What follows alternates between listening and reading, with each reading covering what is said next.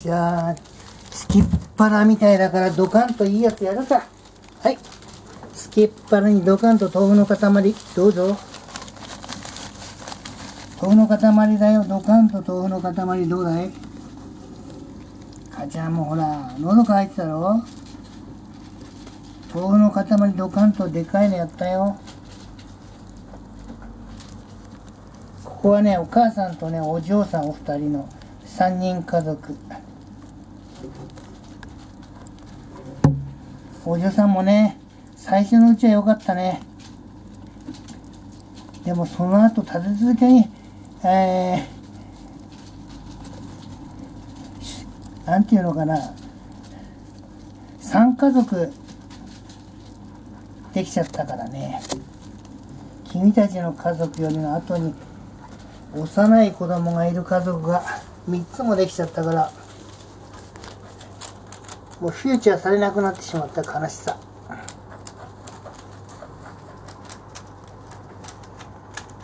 フューチャーされなくとされなくなると飯もね優先優先的には来なくなっちゃうからね。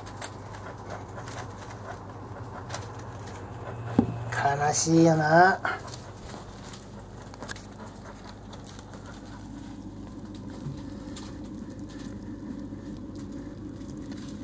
特に君たちは女だからな、全部。娘二人だからな、俺もあんまり可愛くないんだ、正直。やっぱ男の子の方がな、幼い男の子が一番可愛いからね、君たちは娘だから、ま、いじめはしないけど、あんまり構構わないよな。正直関心がなくなっちゃったもん。ただね、飯はしっかり食ってよ。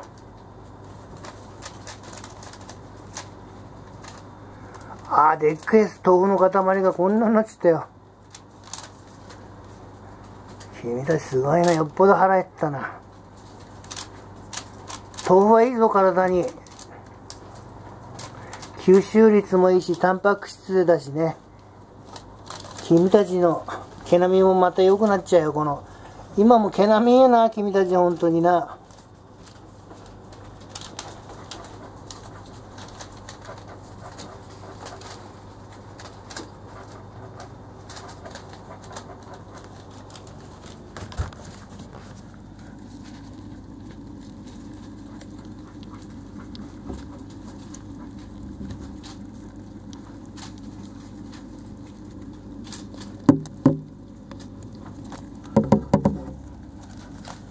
じゃあね。